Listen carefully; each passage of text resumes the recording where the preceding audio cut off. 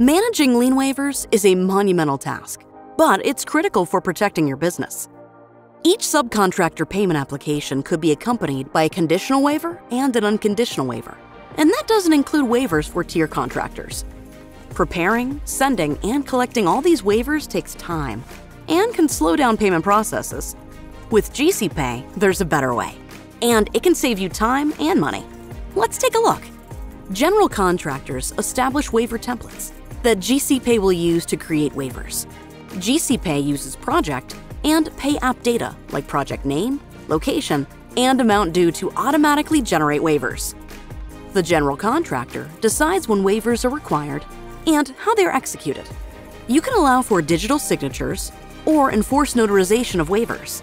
Waivers can be required as a condition of pay app submission, or they can be required after payment has been made. Simply put, GCPay completely automates the creation, distribution, collection, and storage of lien waivers. Contact GCPay to learn more about managing lien waivers and ask for a free demo.